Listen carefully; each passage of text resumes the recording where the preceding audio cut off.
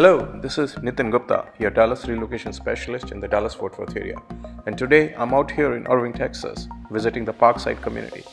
I will be showing you a model home by Village Builders, also known as Lennar Homes. This home is the Monet floor plan with 5 bedrooms, 4 bathrooms, 2 car garage, and is around 4,000 square feet in size. The home starts at $630,000 for the base plan. This community falls under the Coppell ISD, which offers great schools. Please see links below in the description for more information about the city of Irving and Coppell ISD. We have some really good incentives if you contact us through directly, which are not available through the builder.